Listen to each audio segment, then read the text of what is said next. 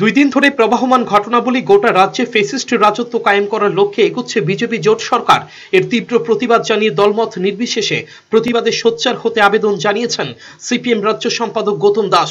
বৃহস্পতিবার সিপিএম রাজ্য দপ্তরের সাংবাদিক সম্মেলনে গৌতম দাস বলেন, একটি জাতীয় স্বীকৃত রাজনৈতিক দলের রাজ্য দপ্তরে মধ্যরাতে পুলিশের হানাদারি গণতন্ত্র ও সংবিধানের প্রতি অসম্মানের নিদর্শন।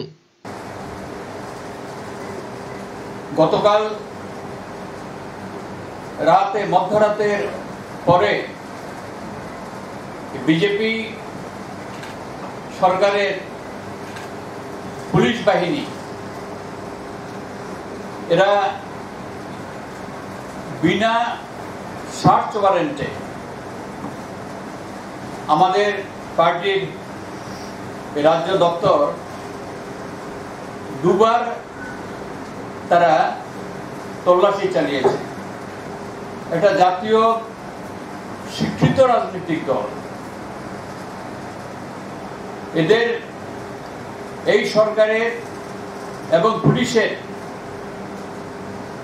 আইন, গণতন্ত্র সংবিধানের প্রতি তাদের ন্যূনতম কোনো সম্মানবোধ নেই। যেটা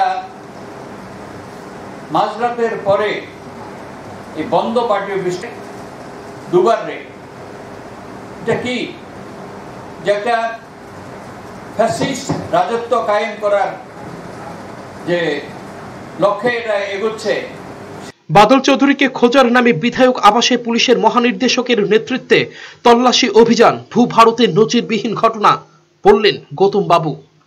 এমএলএ হোসেনে রেড করেছে এবং এটা অভূতপূর্ব ঘটনা যে রাজ্য পুলিশের মহানির্দেশক তিনি নেতৃত্ব দিচ্ছেন। এটা ভারতবর্ষের কোথাও এই ধরনের ঘটনা ঘটেনি। যেটা বিধানসভার একজন বিরোধী দলের উপনেতা তাকে খোঁজার নামে এই মধ্যরাতের পরে ডিজিপি এসে পুলিশ রেডের নেতৃত্ব দিচ্ছেন এমএলএ হোস্টেলে। সে এমএলএ হোস্টেলে নির্বাচিত জনপ্রতিনিধিরা থাকেন। তিনি দাবি করেন, এই সমস্ত ঘটনা ঘটছে মুখ্যমন্ত্রী তথা রাজ্য বিজেপির সভাপতির প্রত্যক্ষ মদতে। সম্পূর্ণ ঘৃণ্য রাজনৈতিক ষড়যন্ত্র বেআইনিভাবে প্রাক্তন সাংসদ নারায়ণ কোরকে গ্রেপ্তার তার জ্বলন্ত প্রমাণ। এই সমস্তই ঘটছে মুখ্যমন্ত্রী বিপ্লব দেব- দেবের বেআইনি নির্দেশে তিনি একদিকে সরকার প্রধান, আরেকদিকে দলের প্রধান। একদিকে তার দলের দুর্বৃত্তদের লেলিয়ে দিয়েছেন আরেকদিকে পুলিশকে লেলিয়ে দিয়েছেন।